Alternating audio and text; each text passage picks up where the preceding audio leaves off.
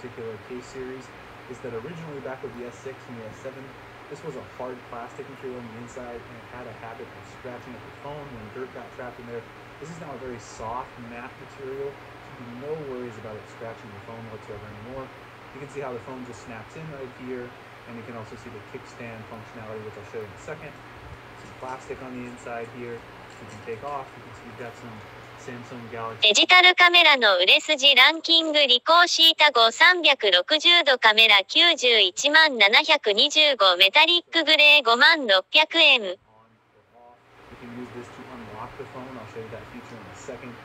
ニコンデジタのレカメラ Y00 防水 YOOMR クールピクススワイ13コンマ293もっと見る with the cover closed. This particular Orchid Gray model looks very pretty, uh, in my opinion.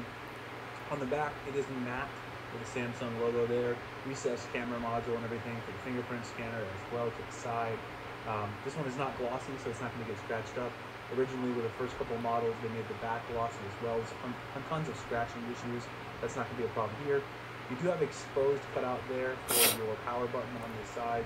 On the other side, you have a volume up and down and Bixby logo right there for the Bixby button, so you can access that with the cover closed. On the bottom, you're going to have your ports exposed, and on the top, the top's also exposed. So this is not a maximum protection case by any stretch of the imagination. If you want something like that, you probably want to go with this rugged protective cover that Samsung offered again that I've already reviewed. Let's go ahead and slap the Galaxy Note into the clear SU cover, and you can see this is what it's going to look like when you snap it in. Uh, when you do that, it's going to tell you that you can download the unique theme cover. Uh, I might review some of these in a future video.